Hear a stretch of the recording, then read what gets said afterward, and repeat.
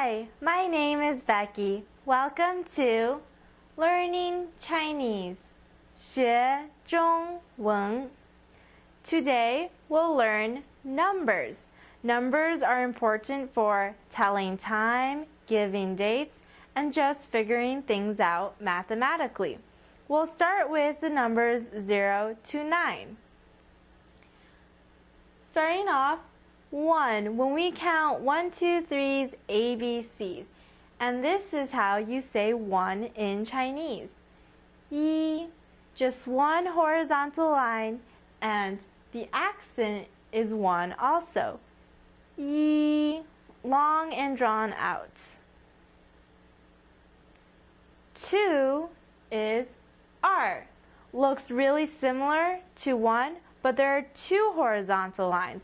The first one is slightly shorter, and you pronounce it R. R for two. Now you have three or san. Three is san. Four Fourth accent, so make it sharp. Four, 四, si, And five is 五. Third accent, make it dip and then come back up. 五. Next, you have six. 六.六 for six and seven. Chi, chi for seven. Eight, ba, bu, a, ba for, eight. And finally, nine.